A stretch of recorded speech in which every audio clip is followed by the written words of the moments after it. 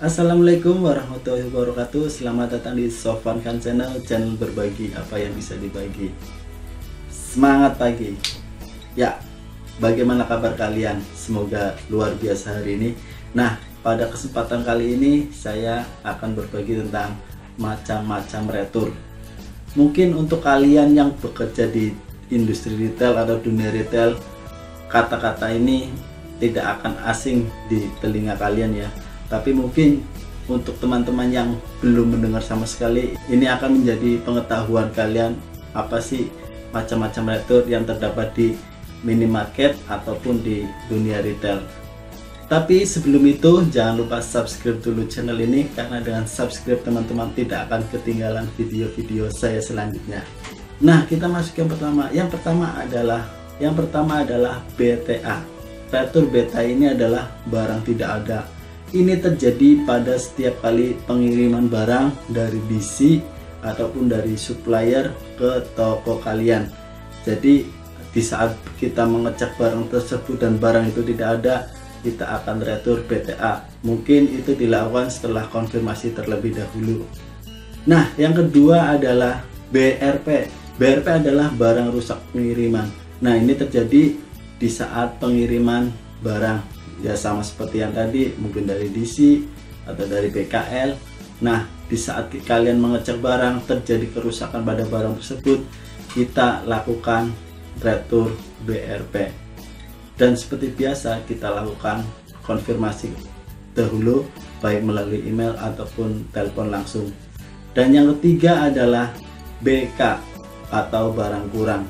Nah retur ini juga terjadi di saat pengiriman barang jadi di saat kalian mengecek barang yang datang itu terjadi barang kurang mungkin yang tadinya seharusnya 4 itu yang datang tiga kalian bisa melakukan retur BK saya ingatkan lagi itu harus dengan terlebih dahulu dikonfirmasi. Nah yang selanjutnya adalah SB atau salah barang.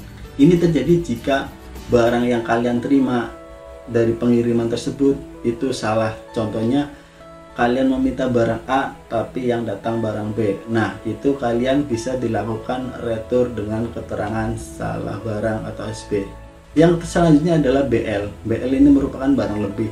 Ini terjadi di saat barang yang kalian terima itu lebih dari yang ada di faktur. Di saat kalian di fakturnya terdapat 4 nah yang datang ada 6 atau 7 Nah, itu sisanya kalian bisa retur dengan keterangan BL. Di kategori retur juga ada beberapa retur yang tidak berhubungan dengan pengiriman, contohnya BKE. BKE adalah barang keterangan expired. Jadi, mungkin barang-barang di toko kalian yang ada expired atau yang mendekati expired atau yang mendekati waktu expired itu kalian melakukan retur baik ke BKL ataupun ke DC distributor center Ya, jadi teman-teman mengenai expired juga saya sudah membahas membahas bagaimana menangani expired yang ada di toko. Kalian bisa searching video saya sebelum-sebelumnya.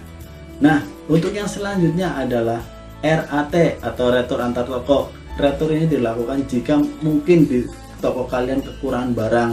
Contoh barang tersebut lagi promo dan barang tersebut laku di toko kalian. Jadi kalian lakukan retur antar toko dari toko lain atau ke atau dari kalian ke toko yang lain.